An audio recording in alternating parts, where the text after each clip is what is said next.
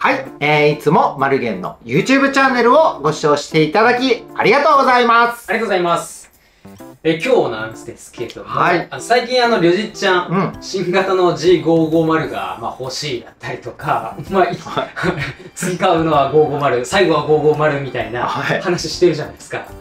まあ、あの まあ、ずっと思ってますけどね。そうはい。はい、でで、あんまりこのチャンネルであの G550 について、あんまり話してなかったじゃないですか。いや、そうだね。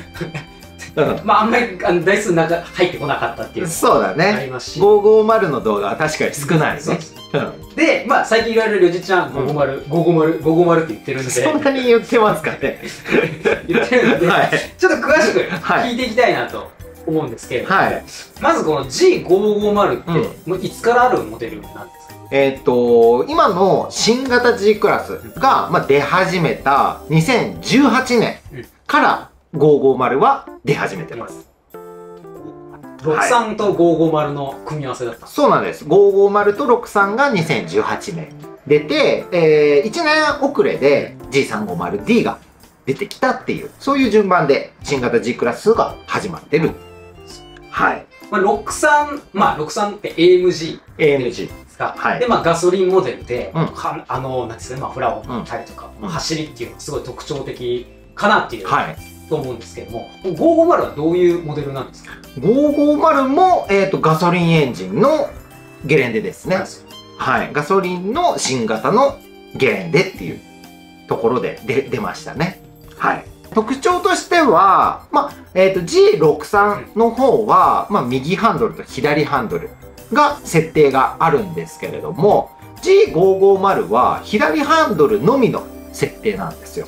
左はい。で、まあ、ガソリンエンジンで、で、見た目は、えー、350D と同じ見た目。うん、見た目。見た目はディーゼルモデル。中身は、えっ、ー、と、ガソリンっていう。そういうモデルですね。じゃあ、パッと見走ってたら、どっちかわからないってことですね。うん、横から見てたああ、わかんないと思いますね。なるほど。63とかだと、グリルが違うんで、こう、パッと見てわかるんですけど、うん、えっ、と、550は、もう本当に、あの、見た目はもう 350D とか、まあ、400D と同じなので、うん、パッと見ただけではわかんないんですよね。はい。で、この、まあ、2018年に、うん、まあ、発売された、開始したっていうところでしたけ？ど、これ、おいくらぐらいだったんですか？新車。えー、G550 は車両本体価格が1562万円で始めました。で、その当時は G63 は2035万円。で、えー、G350D は1170万円。まあ全部今車両本体価格でお話ししてるんですけど、なのでまあちょうど中間的な価格帯ですし、まあ、立ち位置的にもそういう感じですね。まあ、他の動画でもまあ、言ってると思うんですけど、これ、廃盤になったんですね、もう。そうですね。えー、2022年で、うん、えー、販売が止まりましたので、はい、もう今は出てないですね。はい。じゃ結構台数も少なくなってきてるみたいな。まあ、もともとが少ないですからね、G550。はい。まあ、先ほどあの外装の見た目の話しましたけど、はい、まあ、350D だったら、うん、まあ、主要のオプション AMG ラインとかがあるじゃないですか。はい。550どんなオプションが？えー、オプションの方は、まずはこの出始めの頃は AMG ラインと、あとデジーのレザーエクスクルーシブ。っていう、そういうオプションがありましたね。なので、まあ、その 350D より、まあ、オプションの数としては、まあ、多いですよね。うん、内装もやっぱり同じ AMG ラインだと、同じになる感じそうですね。あのー、AMG ラインですと、えー、黒革シートに、レッドステッチ、レッドシートベルトって言って、まあ、本当にあの、見た目はもう、見た目は全く一緒なんですよ。ただ、革の素材が、その時の 350D の AMG ラインっていうのは、本革シートだったんですけど、550はもうその時からナッパレザーが採用されてた。なので、革の素材が違うっていう、そういうところがありますね。グレード高いやつを使ってるわけですね。そうですね。で、他にも、あの、ルーフライナー、天張りですね。えー、G350D の AMG ラインは、天張りってあの、ファブリックの素材だったんですけど、550はレザーディナミカ素材。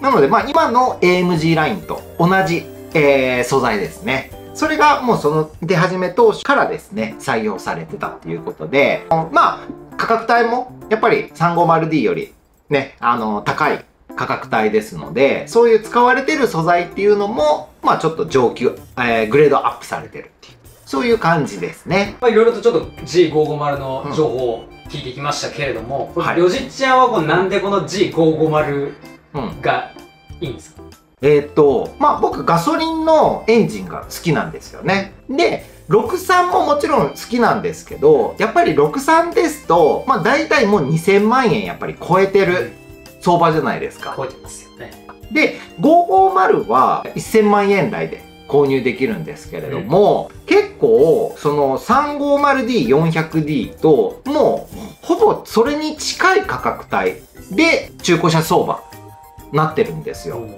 で、もともとはその新車価格って500万円近い価格差がああるんですけど、やっぱり550って、まあ、世間一般ではまあ不人気モデルっていうことで、価格面で中古車で購入するメリットって僕すごいあるモデルだなって思思ったんですね。まあ、さらに、あの、550って、その63的要素も僕あるなっていうのを思って、同じガソリン車です。同じガソリン車で、63ほど、あの、パワフルなマフラーサウンドはないんですけれども、ただスポーツモードにして走ると結構いい音がするんですよ。うん、なので、そういう部分で、63的なこの走る楽しさを感じれる要素もあるっていう部分が、僕の中では結構重要で、だから550がいいなっていうふうに思った感じでございます。そういうことです。はい。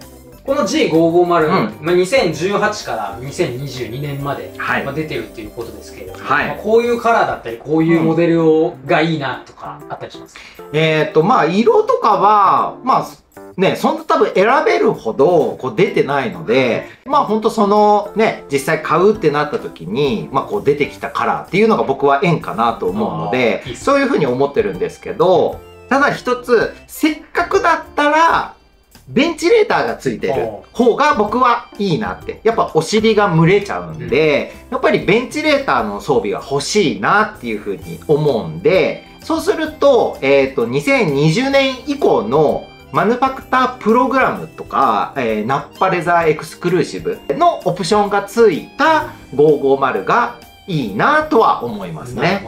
はい。まあ確かに外せない要素ですね、リュウジちゃん的には。はい。ということで今日はいろいろとちょっと G550 について、はい、聞いていきました。はい。はい。はい、ということで今日の動画は以上になります。今日も最後までご視聴していただきありがとうございました。も最後までご覧いただきありがとうございました。買取査定のご依頼は概要欄にある買取査定フォームよりお願いします。G クラス販売情報は YouTube コミュニティ、Instagram、Twitter にて随時ご案内しております。G クラスグッズはオンラインショップにて販売しております。